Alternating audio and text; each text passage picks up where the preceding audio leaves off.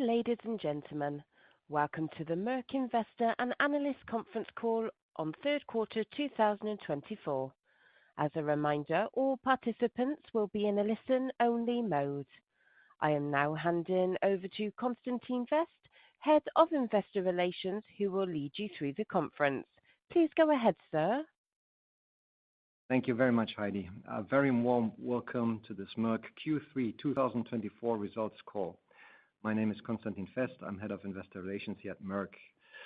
Today, I'm delighted to be joined by Belén Garijo, Group CEO, as well as Helene von Roeder, Group CFO. For the Q&A part of this call, Matthias called in sick, and Sebastian Arana, Head of Process Solutions, was in Germany and could join on short notice. We're delighted to have him with us, covering Process Solutions questions. Science and Lab Solutions and Life Science Services will be covered by Belén and Helene. Also joining for the Q&A of this call, we have Peter Guenter, CEO of Healthcare, as well as Kai Beckmann, CEO of Electronics.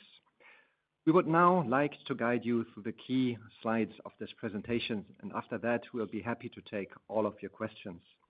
And with this, over to you, Belén. Thank you very much, Constantin, and welcome everybody from my side to our Q3 earnings call. Uh, please go to slide number five uh, on the deck, where I will be starting with the highlights. As you saw, we had a strong Q3 in which we further accelerated organic growth to 4% at the group level. And I am delighted to say that we also generated strong profitable growth in the third quarter, supported by all three sectors. Life Science delivered organic growth for the first time since Q1 last year. Healthcare continues to show strong performance across the whole portfolio. And the semi market for AI and advanced nodes continues to perform very well, driving semiconductor solution sales and supporting Electronics in achieving organic growth in the quarter. Back to the group, sales increased by 4% organically, while EBITDA pre achieved an outstanding organic growth of 17% in Q3. Life Science delivered 2% organic sales growth in the quarter. And this is a great achievement in a very highly demanding market environment, which, however, is steadily improving. And, as I have said multiple times already, while we no longer distinguish the impact of COVID-related sales, it still represents a headwind in 2024. Healthcare was the best-performing sector in Q3, with 6% organic sales growth driven by our innovative franchises. Uh, that means oncology and N&I, as well as by our CM&E portfolio. Electronics showed organic sales growth of 2%, mostly driven by Semiconductor Solutions, which now showed year-on-year growth for the third quarter in a row uh, at 7% organically. Now, on reported sales, we reached 5.266 billion, which is an increase of 2%, as currency was a 2 percentage point headwind.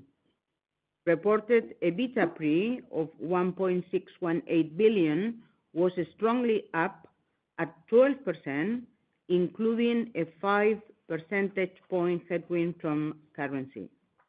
On EPS pre, we delivered 2.30 in the quarter, which is a robust increase of 11%.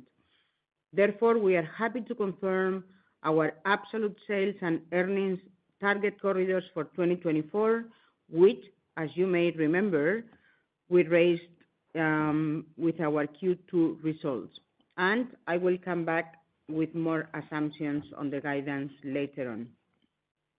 Now, moving into slide number six, we have a bit more color on the performance by business sector. All our business sectors contributed to the 4% organic growth of the group in Q3. In Life Science, Process Solutions returned to organic sales growth, while delivering sequential sales growth in a gradually improving market environment. The sequential increase and the year-on-year growth of our order intake, now for three quarters in a row, raises confidence about the further evolution of our Process Solutions business. Book-to-bill was solid again, staying at around one. SLS, Science and Lab Solutions, achieved organic sales growth in what is still a cautious spending environment for pharma research. Turning to Healthcare, oncology was supported by strong Erbitux sales and all across regions and indications, while Bavencio has slowed on the back of increasing competition in the U.S. market. Our N&I franchise got the benefit from Mavenclad in Q3 as the product confirmed its record sales performance from Q2 in Q3, now against easier comparables. Electronics showed slight organic sales growth driven by our semi-material business, which grew in the double-digit percentages due to AI-driven demand growth and growth in mature nodes in the Asian markets in particular. Regarding earnings, EBITDA pre came in at 1.618 billion, which represents a strong increase of 12% or 172 million euros. While all business sectors contributed, this was mainly due, in the case of EBITDA pre, mainly due to Healthcare, where we saw an EBITDA increase of 151 million in the quarter, driven by robust sales performance and a temporarily lower R&D spending. In Q3, Life Science and Electronics showed a positive EBITDA growth contribution to the group for the first time in 2024. Now, let's move uh, on to slide number seven for a few remarks on our sales by region. Q3 once again demonstrated the advantages of our globally diversified business, with the right mix of business sectors in the different regions supporting our growth trajectory. In Q3, two of the three larger regions, that is, Asia-Pacific and Europe, were up organically, while North America was still slightly down. Europe grew the strongest and was up 6% organically, with strong growth in Healthcare across all franchises, as well as Process Solutions driving Life Science sales in the region. Asia-Pacific was up 3% organically in Q3, which was mainly driven by the strong growth of Electronics and further supported by Healthcare. North America was slightly down by 0.6% organically, as the slight growth in Healthcare was offset by a slightly lower sales in Life Science. Looking at the two smallest regions, Middle East and Africa was up 14%, while LATAM also grew strongly at 12%. Both regions were mainly boosted by Healthcare, while Life Science also showed strong growth in Latin America. And with this, let me hand it over to Helene for a more detailed view of our financials. Thank you very much, Belén, and welcome also from my side. I'm now on slide nine for an overview of our key figures in the third quarter. Taking into account currency headwinds of -2%, net sales increased by 1.8% to 5.266 billion euros. With EBITDA pre-growth and margin expansions in all businesses, we've achieved strongly leveraged growth. Healthcare was the main driver of this development.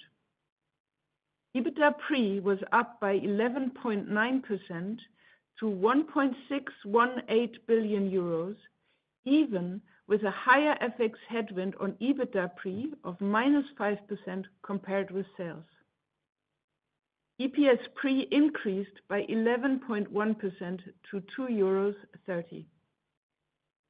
Operating cash flow came in strong at 1.458 billion euros, which represents an increase of 16.2% over the year earlier period. This exceeds the increase in EBITDA pre, mainly due to higher operative profitability and improvements in our net working capital. Net financial debt was slightly up compared with the end of December 2023, which was mainly due to the acquisition of Mirus Bio, which closed on August 1st. Let me also briefly comment on our reported results, and with that, I am now on slide 10. EBIT was up by 11.6% year-on-year, in line with EBITDA pre. The financial result was slightly down from -46 million euros in Q3 of last year to -54 million this year. The effective tax rate came in at 22.2%, which is around the midpoint of our guidance range of 21%-23%, and actually in line with the effective tax rate from Q1 2024. You may remember that the tax rate is showing an increase due to the expected Pillar Two expenses. And as a reminder, the effective tax rate in Q2 2024 was at the top end of the guidance range, as it also reflected the termination of the Xevinapant program. In the first nine months of 2024, the effective tax rate therefore came in at 22.4%, which is in the upper half of our tax guidance range. Reported EPS came in at 1.86 euro, which is an increase of 9.4% year-on-year. And with that, let's move on to the review by business sector, and we're starting with Life Science on slide 11. Overall, Life Science delivered on its goal to return to organic growth in the second half of the year and showed the first positive organic sales performance since Q1 2023. Sales increased by 2.1% organically in the quarter, and we still expect to stay on the growth path for the remainder of 2024. Process Solutions returned to organic growth in Q3, while Science and Lab Solutions has now achieved organic growth for the second quarter in a row. Life Science Services was down, but against a high base. Looking at Process Solutions first, sales were up by 3.7% organically, once again showing a positive sequential trend and increasing by 3% quarter-on-quarter. Order intake continues to improve sequentially, as we had expected. I can confirm that we expect Process Solutions to deliver a sequential improvement in both order intake and sales for the remainder of 2024.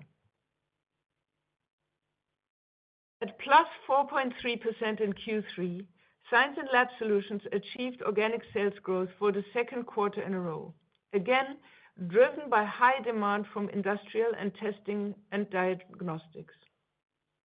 Excluding the SAP migration effect, which impacted the business by a mid-double-digit euro million amount in Q3 last year, Science and Lab Solutions would have shown slight growth organically. Demand from pharma companies has remained soft, especially in North America. And as you heard me say at our Capital Markets Day, we are currently seeing a stronger focus on later-stage clinical development projects at our customers. And China remains muted. Turning to Life Science Services, sales were down by -17% organically. While sales of our clinical testing business have increased in the high single digits, sales of our CDMO activities were down. As a reminder, we benefited from an end-of-contract payment in a low to mid-double-digit euro million amount related to COVID in Q3 of last year. Turning to margins, EBITDA pre increased by 7.1% organically in Q3, which is well above organic sales growth, with the EBITDA pre-margin having improved by 120 basis points year-on-year and by 30 basis points sequentially. For the remainder of 2024, let me say the following. First, we expect the recovery in Process Solutions to remain gradual. Second, the demand from pharma customers remains soft, which impacts Science and Lab Solutions. And finally, you might have noticed that the sequential step-ups in our EBITDA pre-margin during 2024 have become smaller. The biggest positive margin driver would be volume growth, while at the same time, we expect the R&D to sales ratio to increase and startup costs to grow as some CapEx projects come to completion.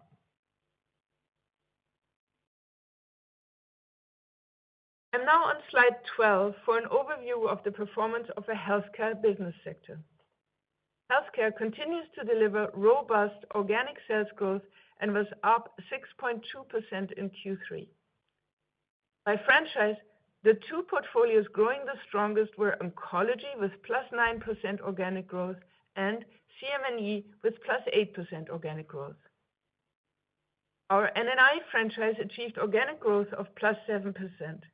This was driven by strong Mavenclad performance of plus 20% organically against soft comps of last year.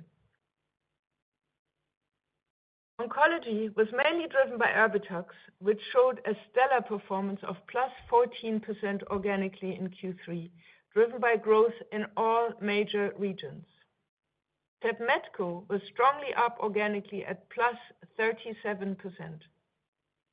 Bavencio was slightly down in Q3 at minus 1 organic performance.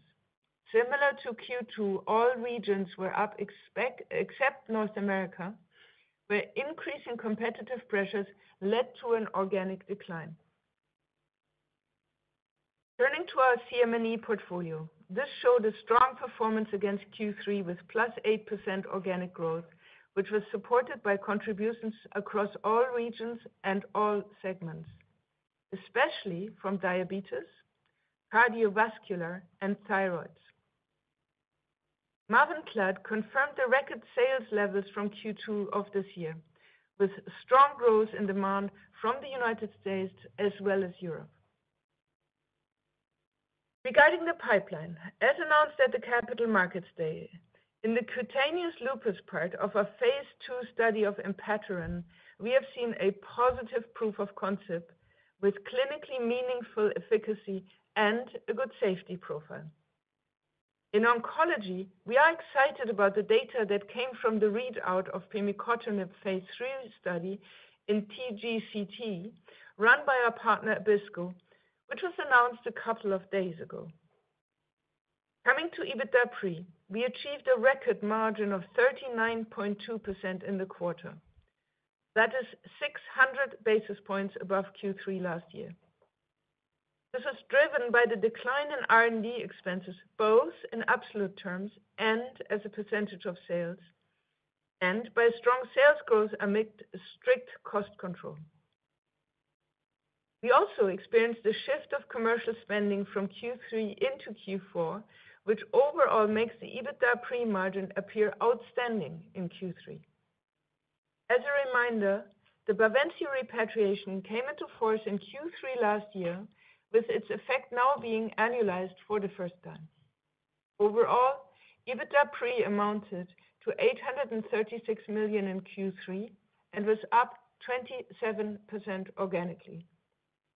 For modeling, in the absence of a major new R&D in-licensing deal, we expect the R&D to sales ratio to remain at this low level in Q4, while seeing a higher commercial spending in Q4 compared to Q3 in line with our typical season pattern. So let's move on to Electronics on slide 13. Electronics showed organic growth of plus 2.4% in Q3. The key driver here was Semiconductor Solutions, which was up 7% organically. Within Semiconductor Solutions, semiconductor materials showed a strong double-digit percentage organic growth in the quarter as AI-driven trends and growth in Asia-centric mature nodes persisted. Our DS&S business was down. In our last earnings call in Q2, we explained that an unanticipated increase in demand for delivery equipment compensated for a decline in the project business. As a result, the DS&S business was flat in Q2. The anticipated decline in the project business was not compensated in Q3, which resulted in an overall decline of the DS&S business. Projects have been pushed out into at least 2025. Semi materials continued to deliver strong organic growth year-on-year and also grew sequentially as thin films and other materials for advanced nodes and AI continue to drive growth. However, a wider inflection of mainstream semiconductor end markets has not yet happened. Turning to display solutions, we saw an organic sales decline of 9% against high comps. This is mainly due to continuous price pressure and also declining volumes in liquid crystals in Q3. You will have seen that we closed the acquisition of Unity-SC just two weeks ago. We will be consolidating the business into display solutions with the goal of developing and delivering new products in the area of optoelectronics with applications in semiconductors. To signify the expanded focus, display solutions will be renamed Optronics from the financial year 2025 onwards, starting with Q1 2025. Looking at our EBITDA pre-performance in the quarter, the EBITDA pre-margin increased by 280 basis points to 25.5%. This reflects our operating leverage through higher volumes in semi materials as well as cost efficiencies, also compared against a low base. For the remainder of 2024, the trends I mentioned earlier for our semi materials and DS&S business are set to continue. Further, display solutions usually benefits from Christmas ordering in Q3, with Q4 being quieter. Regarding EBITDA pre-margins, we said we want to bring capacity expansions online, such as our new plant in Taiwan that supports advanced nodes with thin films and other semiconductor materials. This results in startup costs in a low double-digit million EUR amount, which were only partially booked for in Q3. While we want to sustain a high level of R&D to benefit from the long-term secular growth of semiconductors, our R&D expenses have also remained stable in Q3.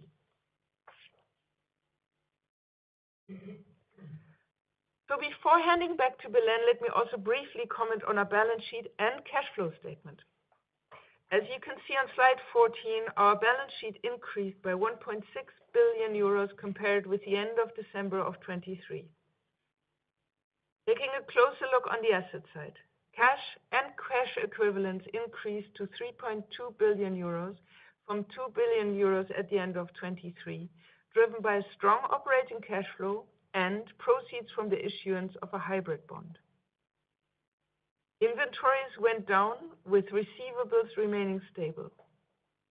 Property, plant, and equipment increased as a result of our CapEx investments. Other assets increased, which was mainly due to the reclassification of Surface Solutions as an asset held for sale.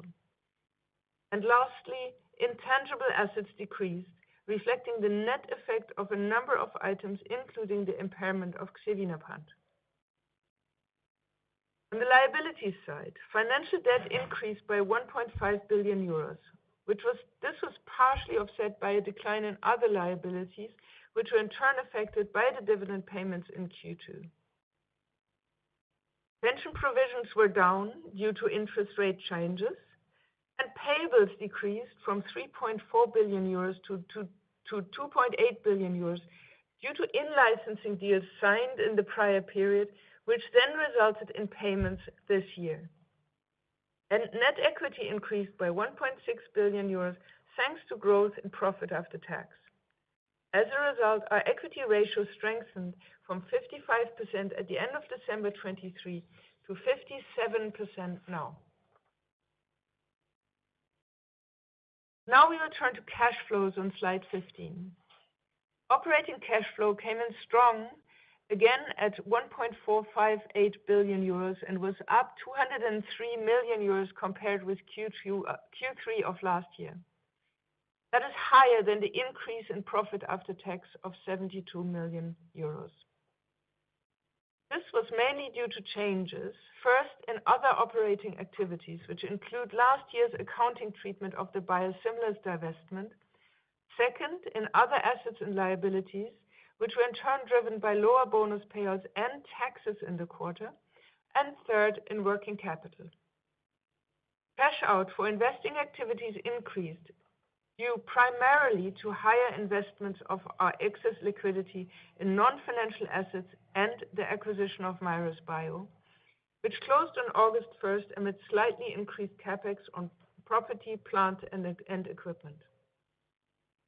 Last but not least, the difference in financing cash flow can be explained mainly by the issuance of a hybrid bond in the nominal amount of 800 million euros during the quarter.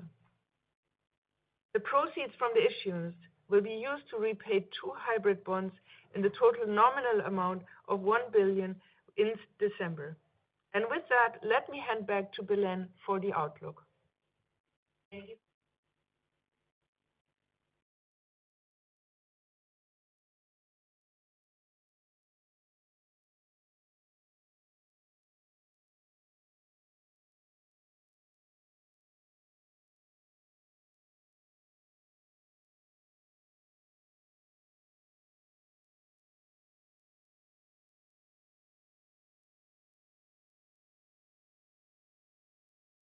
Sorry, I don't know if I have been heard. Repeat. Uh, okay, I continue. Repeat. Uh, so I will start in case uh, this hasn't been heard by everybody because my microphone was off. So I was saying that, um, as you have seen this morning, we confirm our 2024 target corridors for the group. That is that we continue to expect sales in a range of 20.7 billion-22.1 billion, EBITDA pre in a range of 5.8 billion-6.4 billion, and EPS pre in a range of 8.20-9.30 euros.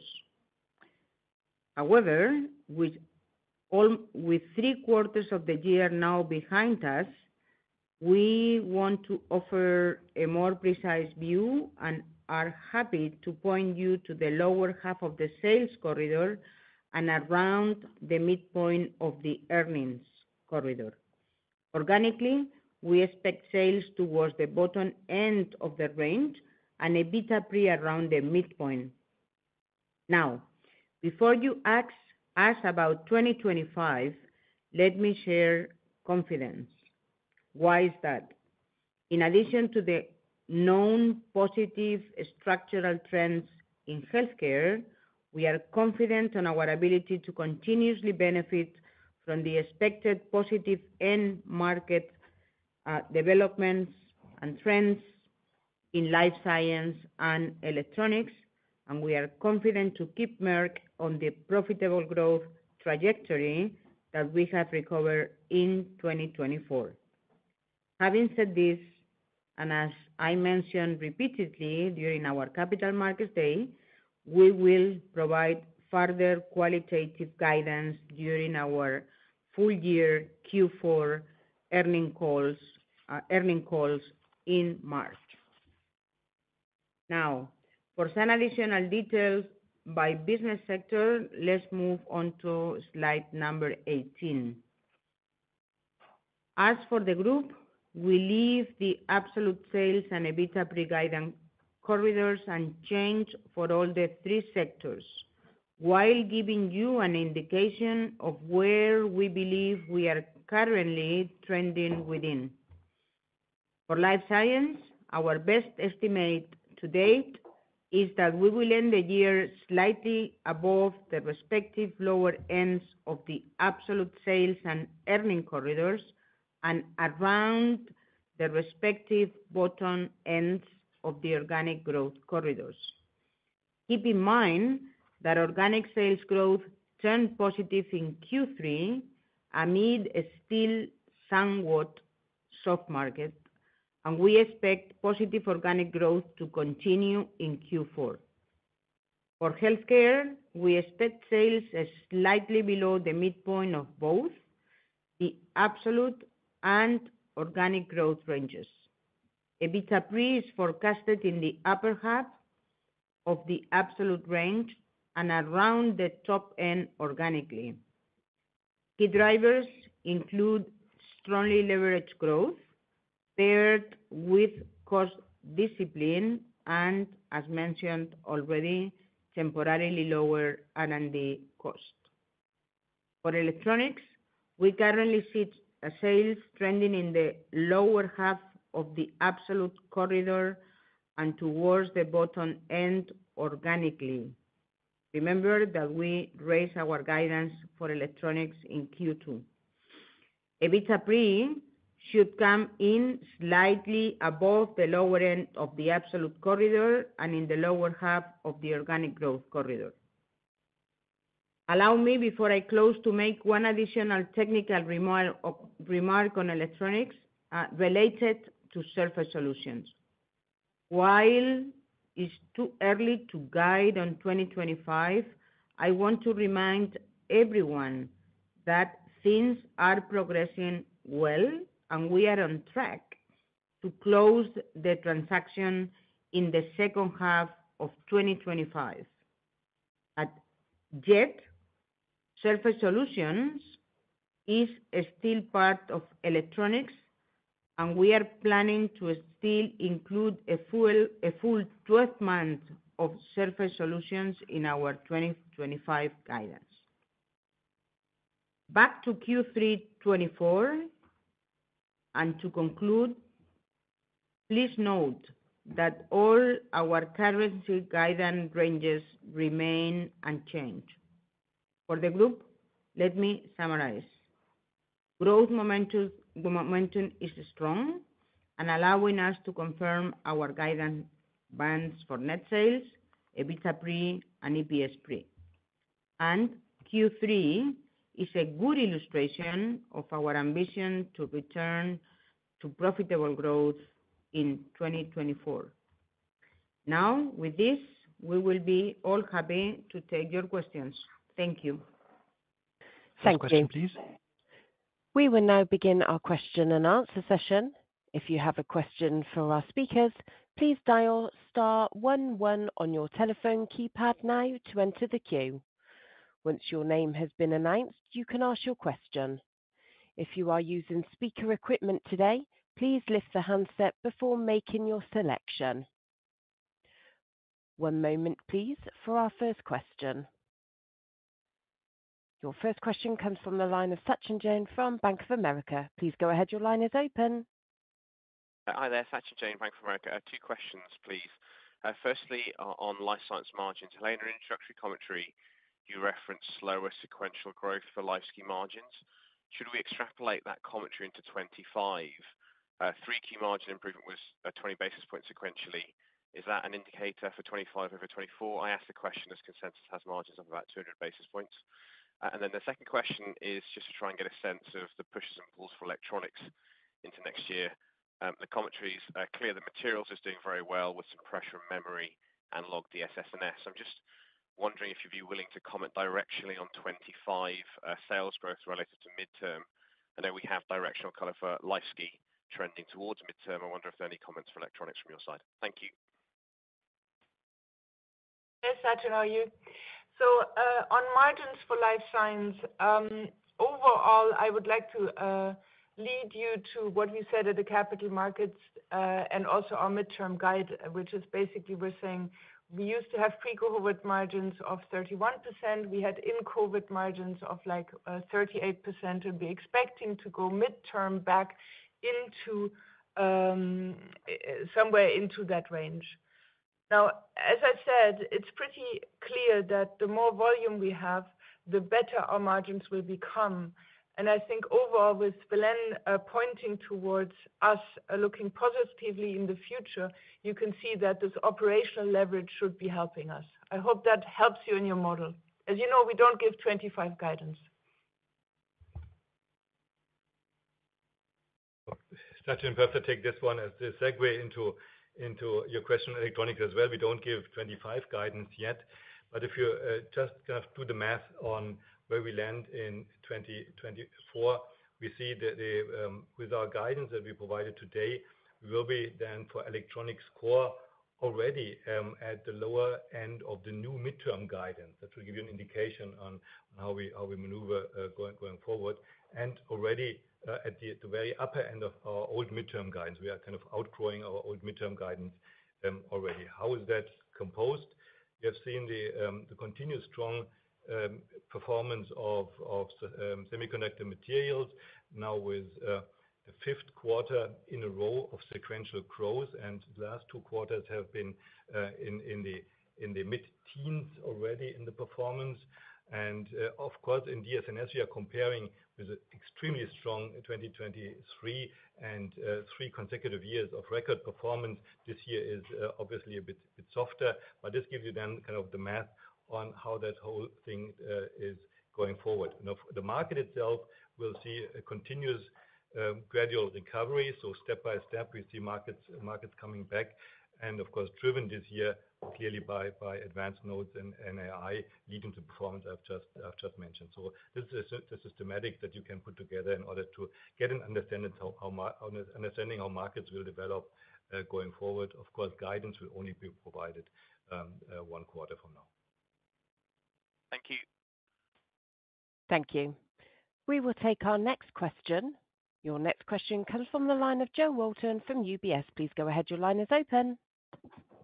Uh, thank you. Um, can I ask a bit about the uh, pharma R&D, just to think about the timeframe over which you'll be going back from the lower end of the number, you know, what we saw in 3Q, uh, through to through to um, arrange? Is it next year, or is it the year after, just to give us some sense of how quickly you will increase that reinvestment?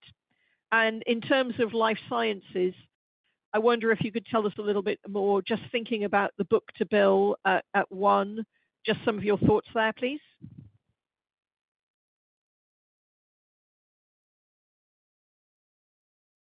Hi, Jo. Uh, it's Peter speaking to your question on R&D. So first of all, um, as mentioned already by Helene, for Q4, of course, we shouldn't expect any material change in R&D spend given the fact that uh, we haven't done any major uh, licensing deals in that quarter. Um in um, 2025 and beyond, I think you have to look at two blocks, yeah, the internal blocks of all the products we have in the pipeline and what we know about them. And then, of course, um, the other, which is a more unknown block, is uh, future and licensing. When does it come? How large will it be? And how many products we are talking about?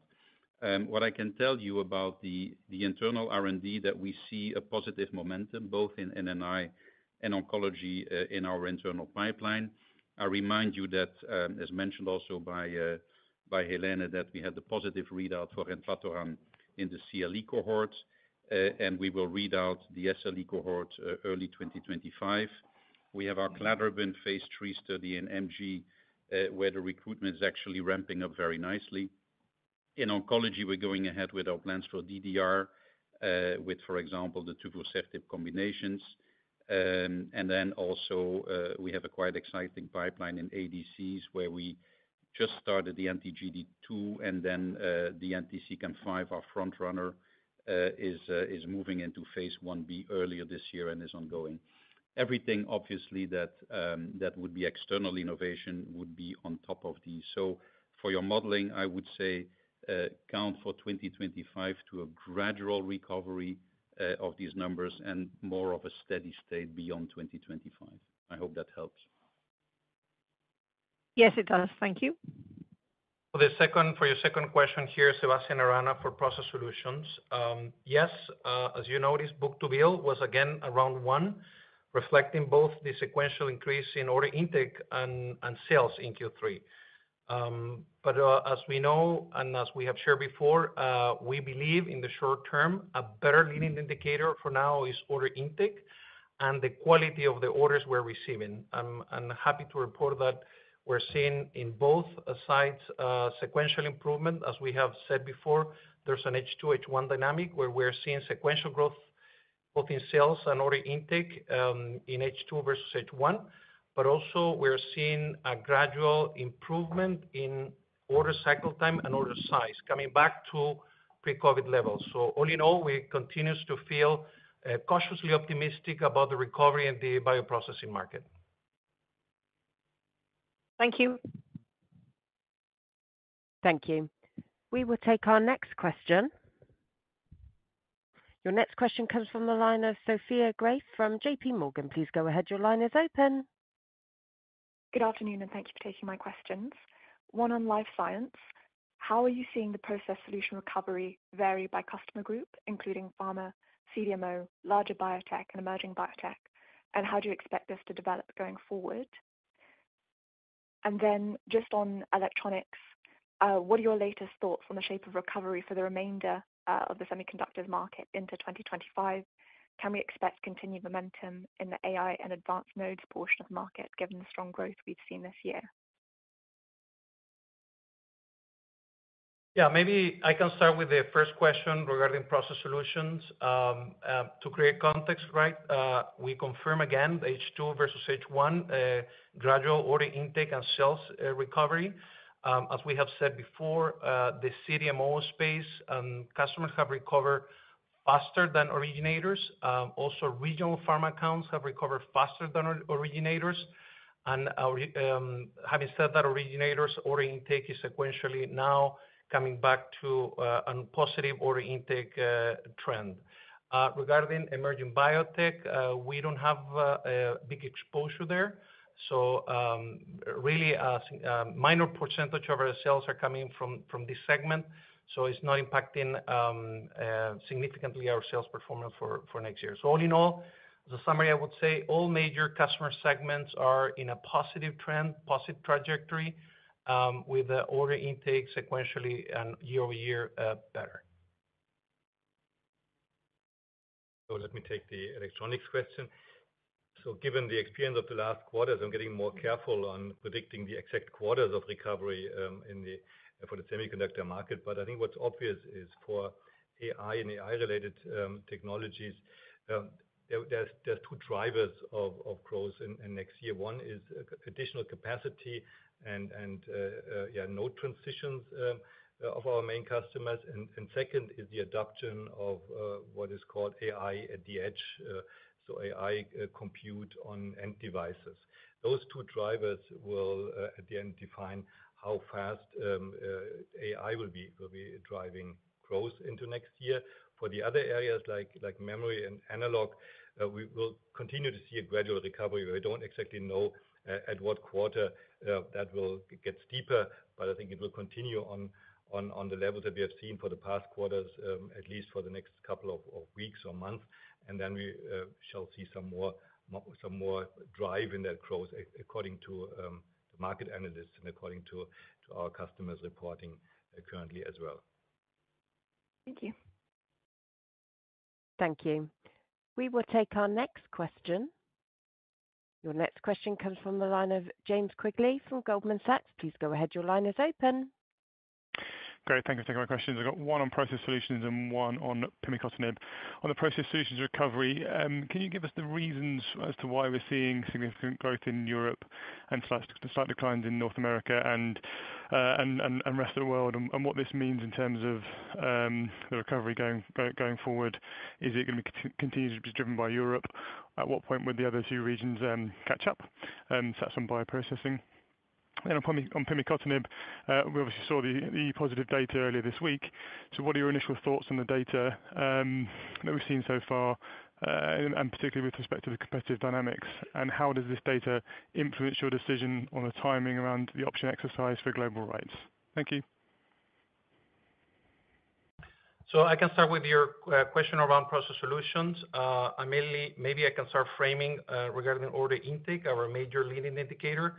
We are seeing um, sequential improvement in order intake across all regions. Um, so behind the EMEA, North America, and APAC results, there's a positive year-over-year and sequential order intake improvement that give us confidence that uh, growth is coming across all regions, right? Um, regarding sales performance in Q3, effectively, as you said, EMEA was uh, driving the growth uh, for Process Solutions, reflecting that the recovery in our major customer segments in EMEA was a little bit earlier than the rest of the regions. Uh, but we see uh, this uh, normalizing in the next few quarters as order intake comes back to growth, and it's coming back to growth as we speak. So pretty confident with the growth projection for all regions across Process Solutions.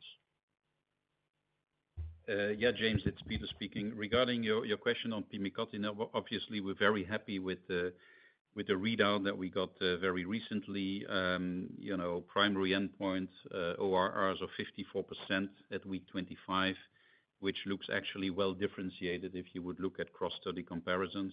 Um, moreover, uh, every single secondary endpoint was met, it was met like, for example, stiffness, pain, range of motion, et cetera.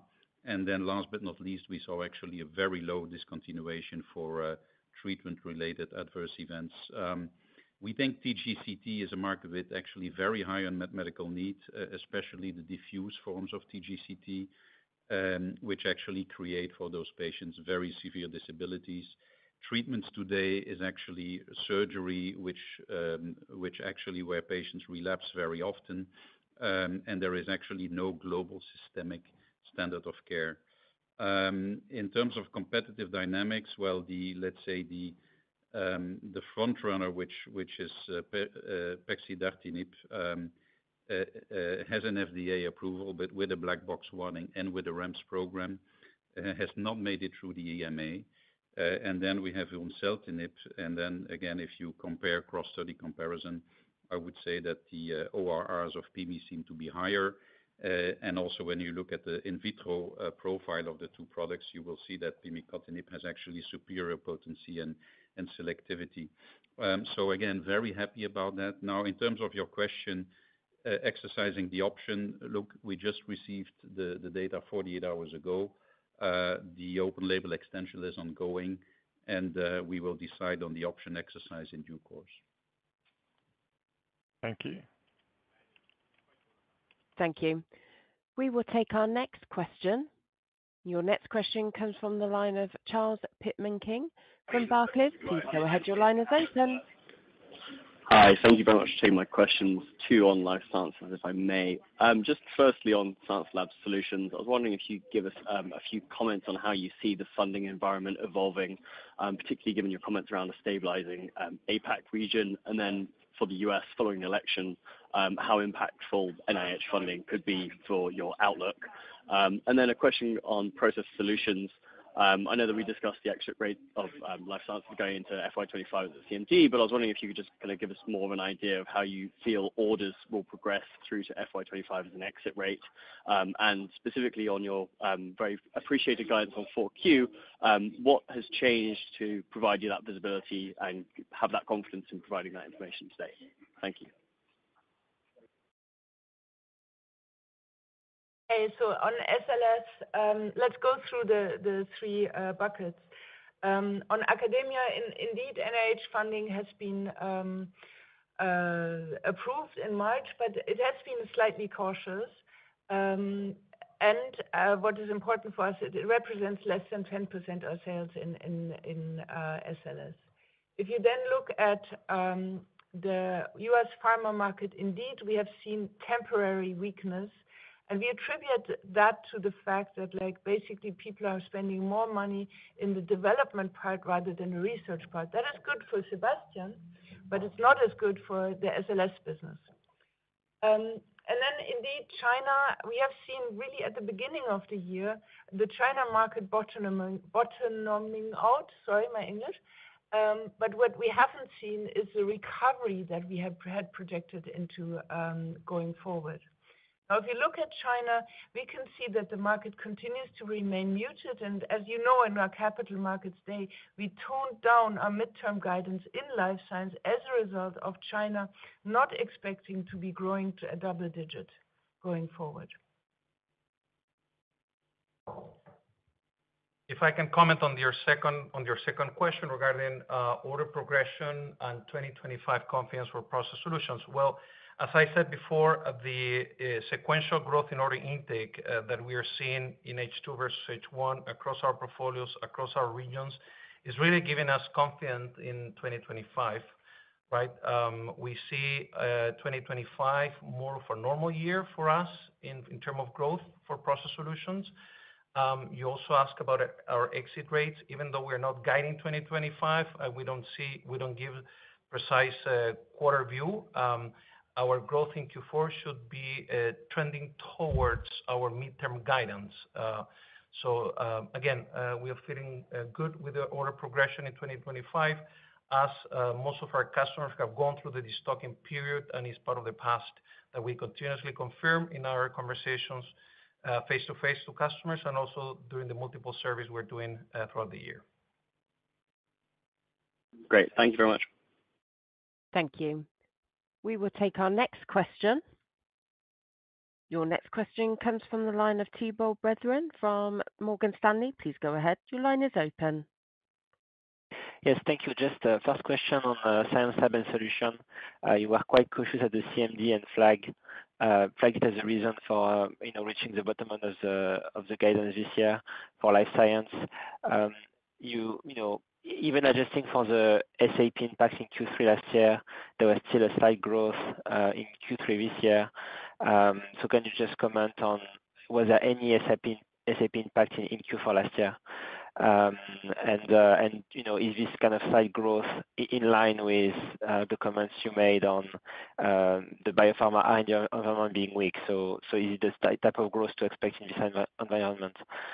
Second question on the Life Science Services. Um, you highlighted a large COVID-19 impact in Q3 last year. Um, and Q4 last year was uh, quite strong as well. So is there anything specific we should keep in mind in terms of the comp base um, in Q4 uh, for Life Science Services? Thank you. So on SLS, indeed, we had an SAP impact uh, in Q4 also last year. And so we do have a relatively easy comp for Q4. I think what you need to know in SLS, it's something that when we look back pre-COVID, we had seen pretty clear seasonality across uh, Q3 and Q4, with Q4 a rather stronger quarter and Q3 a rather weaker quarter. So overall, we remain very confident in the business. Um, we are seeing good growth in our lab water business, in our biomonitoring business. Um, and hence, um, we feel like we're well on track here. Um, if we look at LSS, I think overall, nothing comps-wise that we have to keep in mind. Now, to be perfectly honest, as we've said many, many times, our CDMO business is rather a startup business. And because of the actual size of the startup business, it could be that we have simple batches moving back and forth, and we have phasing element. So to me, as a CFO, and Matthias, I'm stepping in here for you, so changing sides, I'm rather looking at the annual result of LSS rather than quarter-on-quarter progression.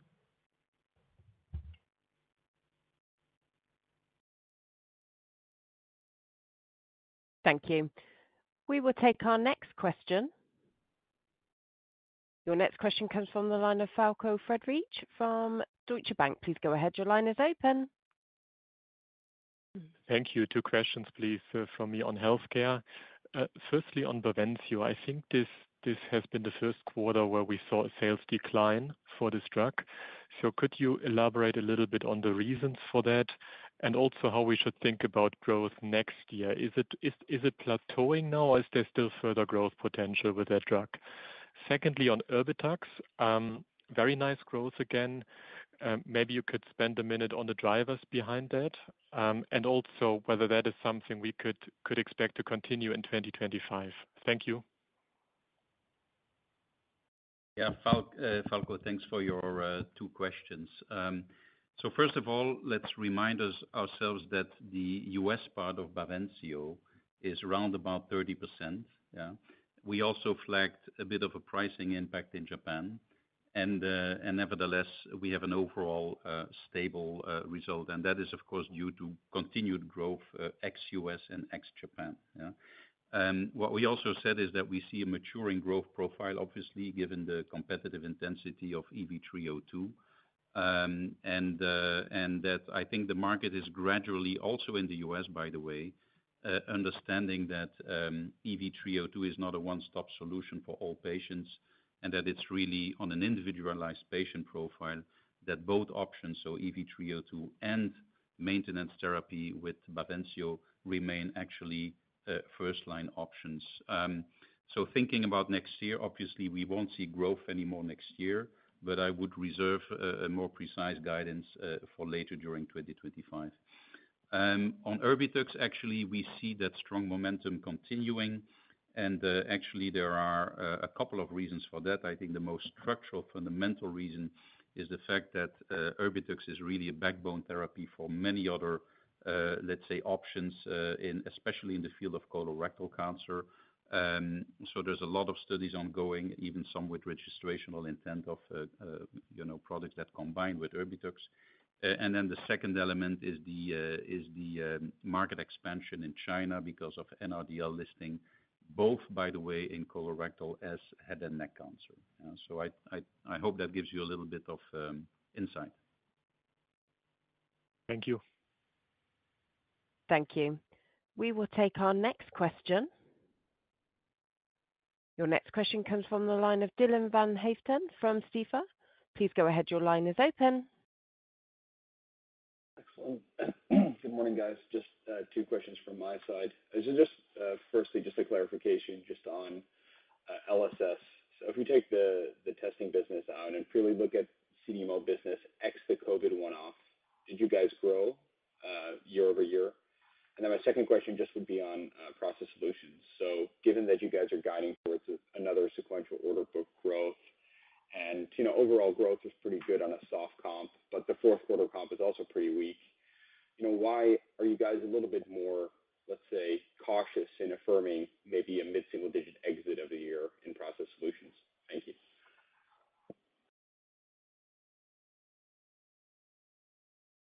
Thank you. Let me start with the second question regarding process solutions. Um, again, we see uh, order intake uh, sequentially improving um, H2 versus H1. We expect Q4 to continue that trend in order intake sequentially improving. Uh, and we see our, as I said before, right, uh, Q4 um, trending towards our midterm guidance. Um, what uh, what I think it's important to mention here is, we, as we have said in the last couple of quarters, we see gradual recovery in the order intake trends. Um, it's not going to be a hockey stick or a deep or a huge rapid uh, order intake uh, uh, trend upwards. It's more a gradual recovery that will lead us into this um, growth in exit growth in Q4 trending towards our midterm guidance. We remain positive and confident in 2025 as we continue to see the market recovering back to bioprocessing.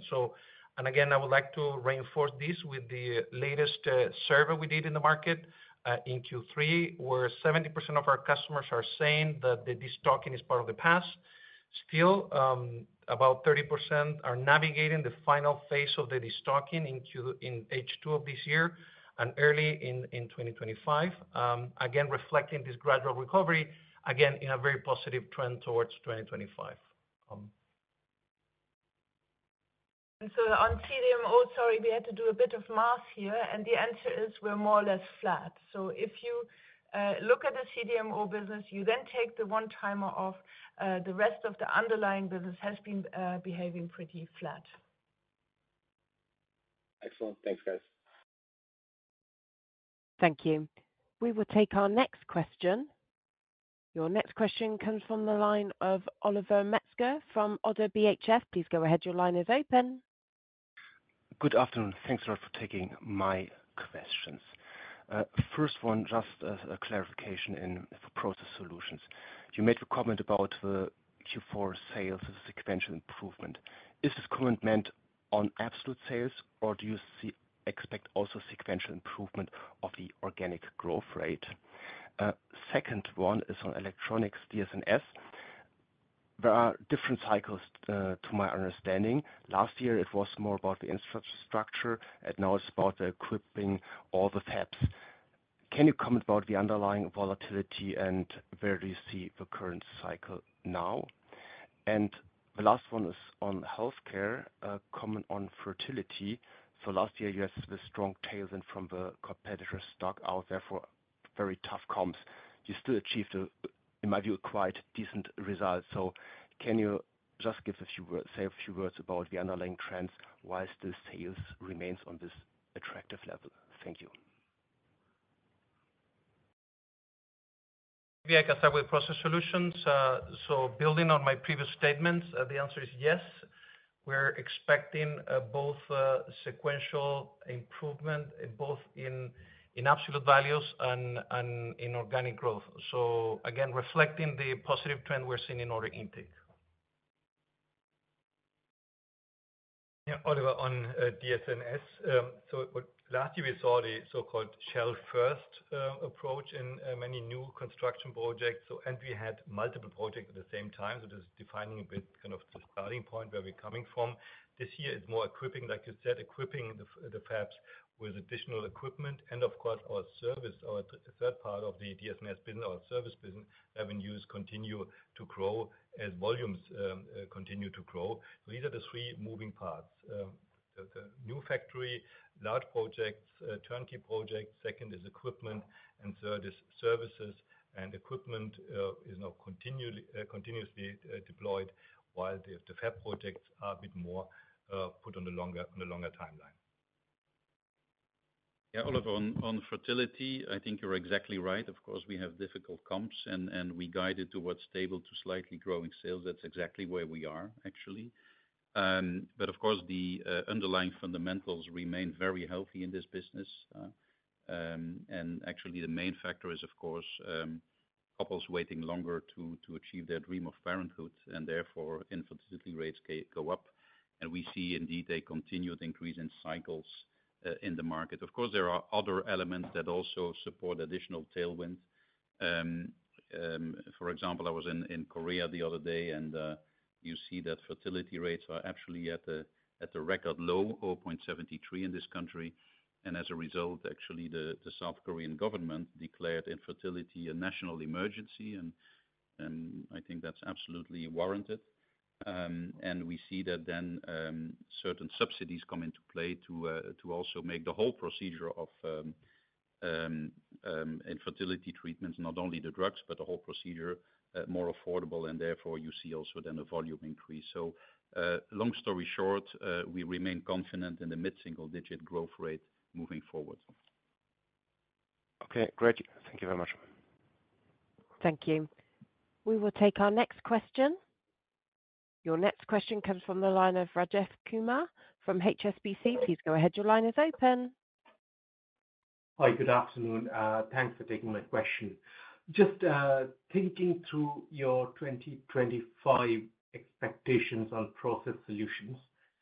Uh, understandably, you know, order books are sequentially improving, and you expect a gradual recovery coming to the 7%-9% growth, I'm assuming, towards the bottom end next year and then building from there. And then you clearly know more about the supply chain than we do. Uh, what is it that you're seeing in either the inventory levels, order patterns, that makes you so certain that the growth will be towards the bottom end of the range next year, especially given the soft comps and potentially the first year of recovery after two years of decline? Or is it uh, a conservative stance you're adopting until you know better by first quarter next year, and then you would revisit this assumption?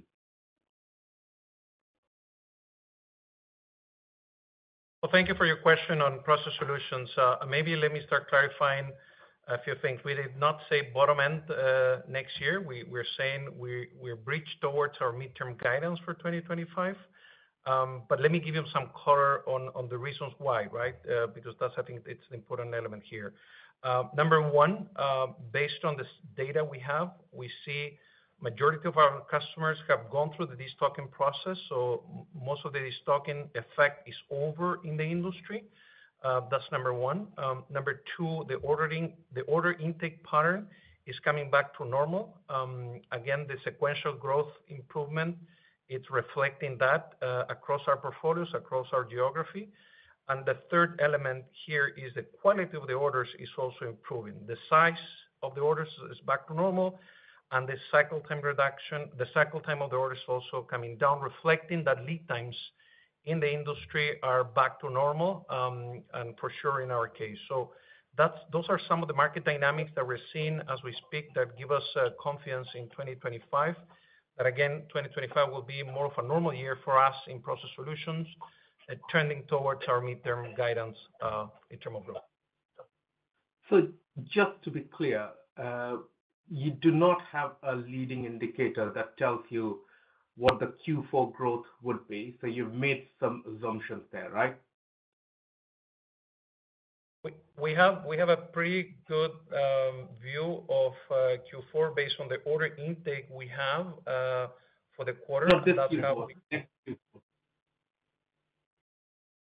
Can you repeat, please? Not this quarter, the next quarter, but Q4 in 2025. I'm assuming your visibility is to quarter one, quarter two next year, not beyond. We we have uh, we have a pretty good visibility on the order book. Um, of course, Q4 2025 is way above uh, lead times, right? So the closer the quarter, the more visibility we get. Um, but uh, based on the trends we're seeing in the market, and again, the destocking effect and some of the order patterns we were reflecting, we feel pretty confident that 2025 will be Uh, more of a normal year. Um, having said that, it's also important to mention we don't comment on quarter breakdown in 2025. Uh, at this time, it's more an uh, a total year view. So it could be very well above the range if the recovery is stronger than you are factoring in? We don't comment on that. I think I think we're sharing um, everything we're seeing now eh, in a very, I would say- gradual recovery towards 2025. Yeah.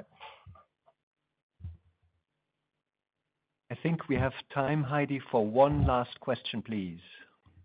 Of course. Please stand by. And your final question comes from the line of Simon Baker from Redburn Atlantic. Please go ahead. Your line is open. Hello, this is Sally speaking on behalf of Simon Baker. Just two questions. Um, if you could just give an update on the partnership with Telix, um, that would be helpful. And the second one is, can you update on the time to stabilization in Display beyond 2025?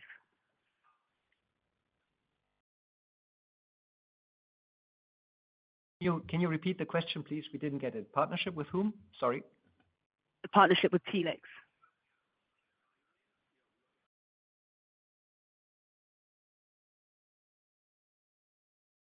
Do you have a dev context on the question, please? Um, if you could just update on how you're managing, how you're progressing with that, that would be really helpful. This is the other Merck. This is a question for MSD. Sorry to say, we have no partners with Telix. Wait, wait, wait, wait, wait.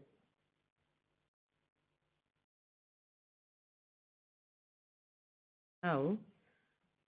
Look, I mean, you caught us off guard uh, on this topic. No worries. So we need we need to come back to you on this topic.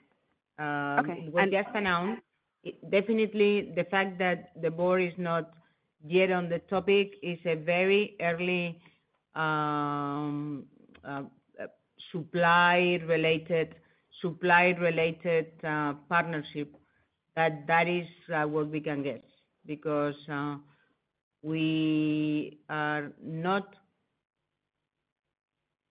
able to give you an update. We will come back to you on this topic. It's very small, and it doesn't really have uh, implications on the quarter and the future, um, the short-term future. Okay. And then the second question is from the Electronics business. If you could update on the time to stabilization in Display beyond 2025?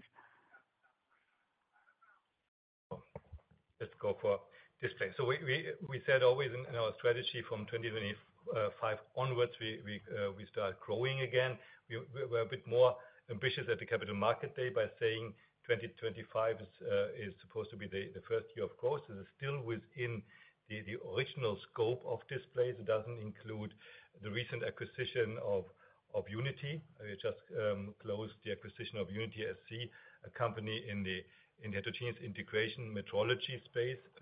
Very interesting uh, technology for driving the advanced advanced uh, integration uh, schemes for artificial intelligence.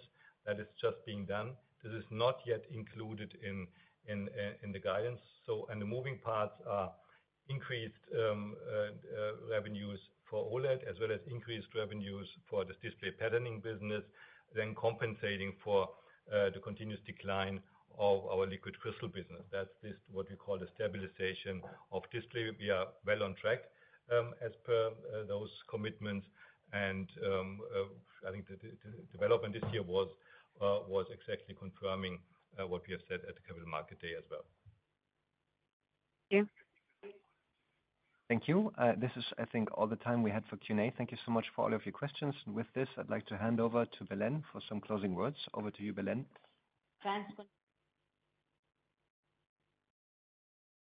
Thank you. Thank you, Constantin, and thank you, everyone, for uh, joining the call. Uh, I would like to wrap it up with uh, three main messages.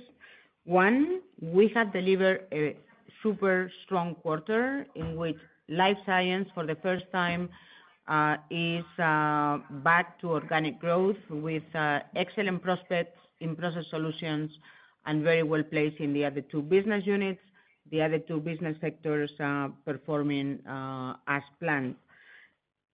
Message number two, based on all leading indicators that are available to us to date, as we have been discussing during the call, we have a strong confidence on deliver a very solid 2024. Point number three, and more important, we are also confident to keep our profitable growth trajectory in 2025. And with this, more to come in our coming roadshows and conversations in coming days, and looking forward to meeting many of you um, in those uh, roadshows. Thank you so much for your interest in Merck, and goodbye. Ladies and gentlemen, thank you for your attendance. This call has been concluded. You may disconnect.